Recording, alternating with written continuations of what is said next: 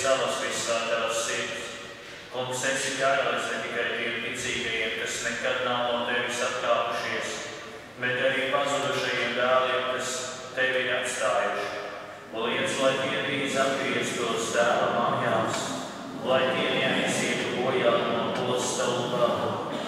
Esi karalis arī tiem, kas maldu mācību samulsinātu vai šķelšanos no tevis atdalītu. Sauc viņus atpakaļ drošajā patiesības ostā ticības vienībā, lai drīzumā būtu viens ganāmpulks un viens gans.